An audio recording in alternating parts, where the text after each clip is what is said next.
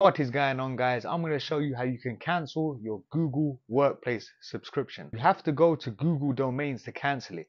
You won't be able to cancel it using the workspace. So you want to pick the domain that you want to cancel the subscription on and you want to click manage. And here you can see my Google Workspace subscription. So you want to click manage subscription.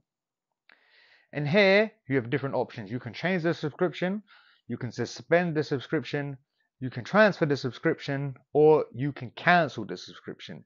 In this case, I am going to suspend my subscription.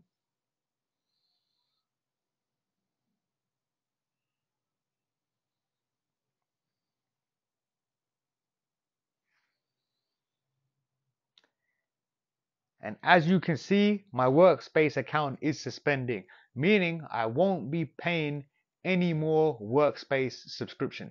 If you found value in this video, don't forget to like and subscribe because it helps to spread to more people. Thanks for watching.